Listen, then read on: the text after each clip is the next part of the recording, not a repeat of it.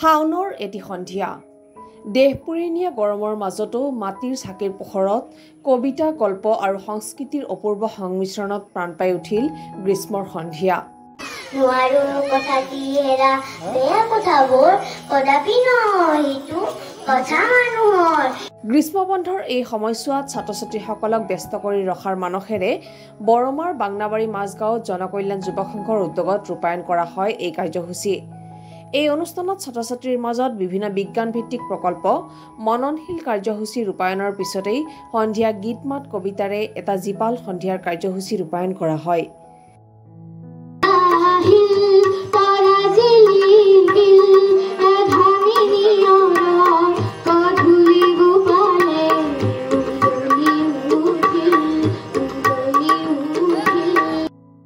এই কাৰ্যসূচীত কেইবাজনো বিশিষ্ট কবিয়ে কবিতা পাঠ গল্প পাঠ কৰাৰ লগতে গীত আৰু নৃত্যৰ কাৰ্যসূচীত অংশ লয়। মোৰ তুলি অকলে চাওঁ কলা আপৰা আকাশ ব্যথিত হৃদয়। মোৰ বুকুৰ কি হলো পিতাৰ বাবে মই এটা বজা পিতায়ে মোৰ মোৰ বাবে এযোৰ কাপোৰ কিনিছিল হেনো ন হাজেৰে সজাবলৈ। জনকল্যাণ যুৱক সংঘ এটা সংঘ আছে। আৰু এই সংঘত বিশেষকৈ আমাৰ এই উদ্যোগত বিভিন্ন ধৰণৰ অনুষ্ঠান আমি ৰূপায়িত কৰোঁ বিশেষকৈ সাহিত্য সংস্কৃতি আৰু শিল্পৰ লগত। হঠাৎ এই গৰম বন্ধৰ মাহটোততো ছাত্ৰ ছাত্ৰীসকলে কি কৰি আছে?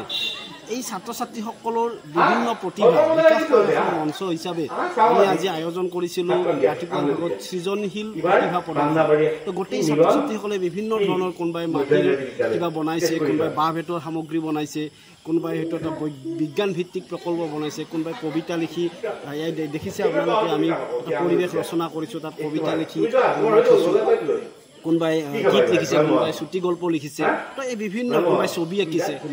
আচলতে সৰু ছাত্ৰ ছাত্ৰীখিনিক এখন মঞ্চ দিবলৈ চেষ্টা কৰিছোঁ যে প্ৰদৰ্শন আচলতে কেনেকৈ কৰে? নিজৰ ভিতৰৰ প্ৰতিভাখিনি কেনেকৈ প্ৰদৰ্শন কৰে?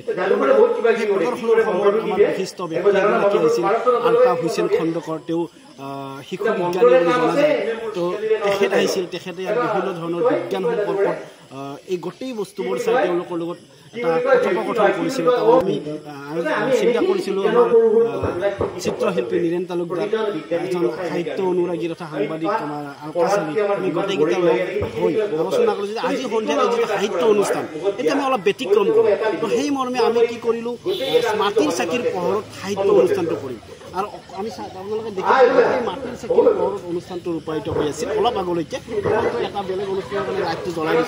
মাটিৰ চাকিৰ অনুষ্ঠানত আমি গোটেইকেইটা আলোচনা কৰি কেনেকৈ মাটিৰ চাকিৰ মাজত কবিতাৰ মাদকতা গল্পৰ মাদকতা বা গীতৰ মাদকতা আমি কেনেকৈ অনুভৱ কৰিব পাৰি। তো সেই আমি জানো যে সাধাৰণতে যে আমি যদি আন্ধাৰত বহি এটা কথা ভাবোঁ সেই ভাৱৰ যিটো ভাৱাত্মক যিটো যিটো চিন্তা সেই চিন্তা বেছি গভীৰলৈ যায় বুলি বহুত মানুহে অনুভৱ কৰে।